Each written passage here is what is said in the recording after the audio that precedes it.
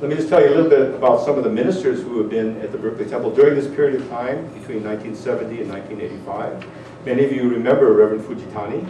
Uh, he was a, a, a, really a renowned linguist, uh, a tremendous uh, scholar, uh, known not only in BCA, but really in, in other, in Ryukoku University and other universities in Japan. He was an expert in reading uh, Pali and Sanskrit. Uh, he could read those original texts directly. Uh, and he uh, made a great many discoveries. One of his discoveries was that um, um, when we chant Namo Amida Butsu, we actually should be pronouncing it Namo Amida Butsu, okay, not Namu Amida Butsu. But during chanting, uh, the correct pronunciation is Mo, based upon the Chinese transliteration of the Sanskrit. Anyway, that was his conclusion. So anyway, but he was a great linguist. But at the same time, he uh, um, was a person who uh, was very active here at the temple. I understand he had contacts throughout the world, and he would invite speakers from all over the world to come and speak here. So those of you who were members of the temple at that time, perhaps you remember some of the, uh, the great uh, speakers who came to this temple. Uh, his wife, uh, Mrs. Fujitani, was a, very wonderful vocalist, I, I, once again, and she uh, was a great supporter of our musical program. Reverend Murakami, of you remember Reverend Murakami? Great guy, wonderful guy. Uh, he was um, from Japan, but you never could tell when listening to his English. His English was perfect. I met him when I was an IBS student, and uh, I met him, I thought he was an Issei. His English was so good. In fact, his, his English was better than ours. Uh, and we were born and raised here in America. Uh, but he was also a very, um, sort of, uh, what's the word? Uh, he had lots of interests, lots of energy. He liked to do all sorts of things. He was, uh, he participated in a number of Japanese arts, okay, Chanoyu, the tea ceremony, uh, calligraphy. He was one of my calligraphy teachers. I guess he wasn't a very good teacher because I can't write at all. But uh, he was also a teacher at IBS when I was there. A wonderful man, uh, very uh, warm. Uh, his wife uh, was also a wonderful woman. She was also, noted. she was a pianist, right? well-known pianist. And um, her, her two daughters, their two daughters, um, I think now live in Hawaii, if I'm not mistaken. He went on after Berkeley to um, become the bishop in Canada. Canada, then he went to Australia. Uh, Reverend Newton Ishiura, uh, he uh, was another well-known person. He uh, uh, was a minister in Canada for a while, uh, and he was a minister in a variety of temples in the BCA. His wife, Mary, was one of the Matsura girls. And so he was quite active. And I understand that both he and his wife really focused on providing um, sort of support and comfort and instruction to UC students when they were here. Okay, so they used to invite a lot of Cal students over to their home, made them food, made them feel welcome, and just a very, very warm and welcoming person. Uh, Reverend Matsubayashi, I understand, was only here for a short time. Uh, he uh, is now retired, but he's currently in New York City. Uh, so he's, uh, he's had a very uh, outstanding career as a BCA minister as well. And then Reverend Kusada. Reverend Kusada. He was just this wonderful man. Uh, Reverend Kusada was also from Japan. Uh, when I first went to IBS, he was the executive director of IBS. Let me just tell you a short story in you know, a few minutes. Uh, I went to IBS for a summer session. Uh, at the time, I was still practicing law, and I went out to, uh, to summer session just to kind of check it out. Uh, I was there for, I think, four weeks for a summer session. And during that time, there were all these wonderful teachers great, great teachers, well-known Buddhist scholars teaching classes there. But Reverend Kusada, um, he was always there kind of running around, but I don't remember him saying more than two words the whole summer. He did lead us in chanting, and he taught us a number of things. Chanting, he also uh, was a master of tea ceremony. He served tea out at Tilden Park and did all these things, but he didn't talk very much.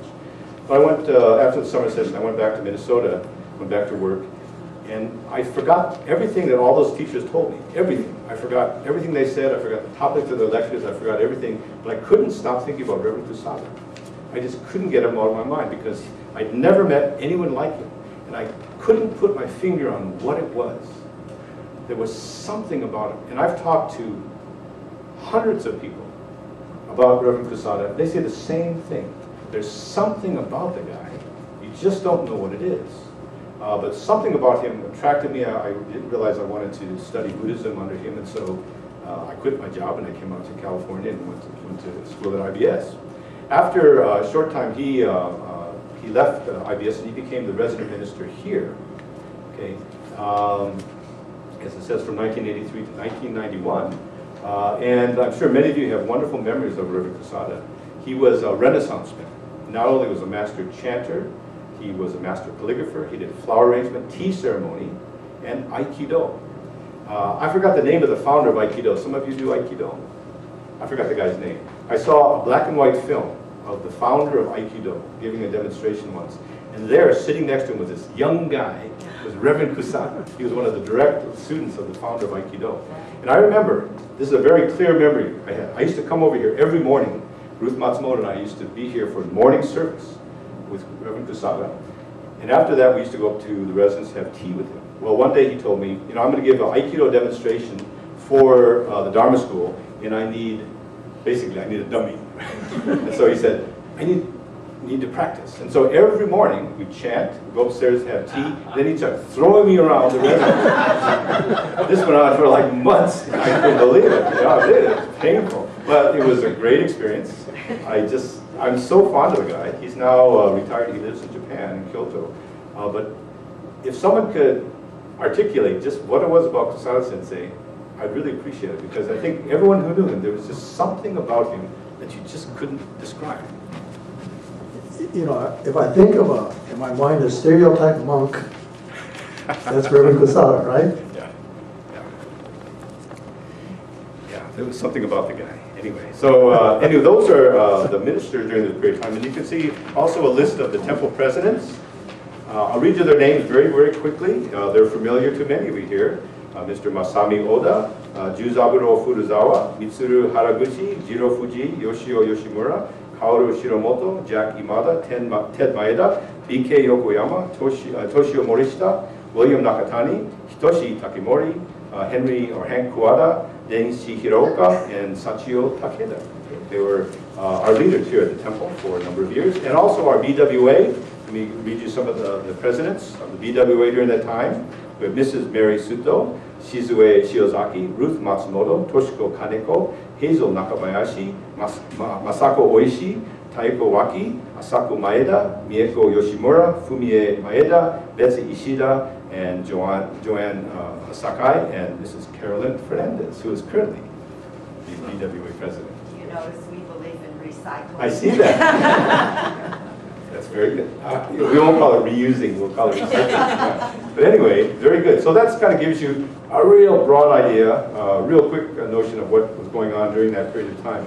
Again, we have a couple minutes, and if any of you would like to share some of your thoughts, I'd really appreciate it. I do want to let you know about, on the, on the last page, of some upcoming centennial lectures. I mentioned the panel discussion on May 8th about the Berkeley Buddhist Temple sports programs with Bob Kaneko, uh, Gordy Kono, uh, Willie Fernandez, and Mimi Kagehiro. On May 29th, Reverend uh, Brian Nagata will come to talk about Mr. Yehan Numata and the Berkeley Buddhist Temple. And if, you've got to come to that. You've got, if you don't know about Mr. Numata, you've got to come to learn about him. Remarkable, remarkable, amazing man. Uh, July 10th, as part of our Obon Hatsubon service, Reverend Tetsuo Uno will come to speak. He's a former resident of the dormitory and a student at the Berkeley Buddhist Study Center. And on September 18th, Mr. Hiroshi Kashiwagi, who is also at the dorm and very active with the YBA after the war, he'll be coming as part of the fall Ohigan service on, on uh, September 18th. Uh, and I think there'll be time for one more Taigekai between now and the, and the centennial. I'm not sure when it'll be, but we'll be talking about 1985 up to the present and all the wonderful things that have been going on, uh, recent memory. But anyway, anybody have any last minute thoughts or um, memories you want to share? I think we have about a minute or two. Yes? I remember when I first came to the temple, it must have been in 82 or 83, um, I was studying architecture at Cal, and Joyce um, brought me to the temple.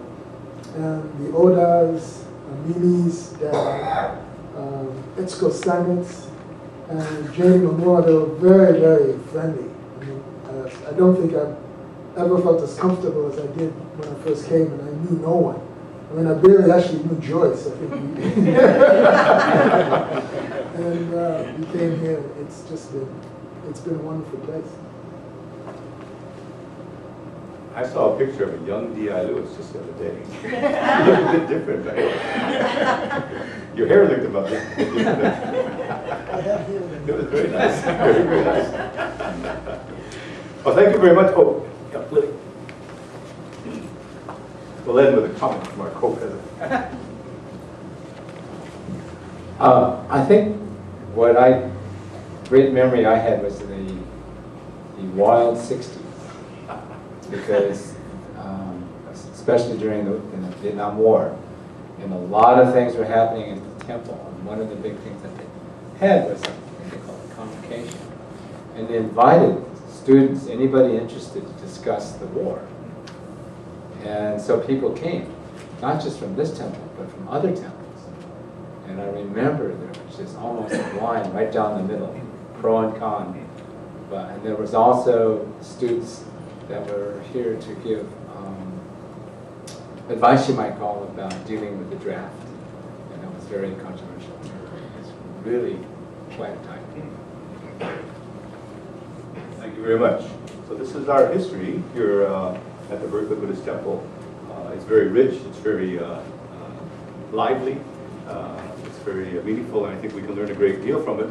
But I think what we can learn most of all is that uh, we are making history right now. This is history in the making, and all of you are wonderful and important members of our Nembutsu Sangha here at Berkeley. And we look forward to many wonderful, wonderful years together. So thank you very much. Uh, Well, this will conclude uh, today's discussion. Please join me in gassho. Namo Amitabha. Namo Amitabha. Namo Amitabha.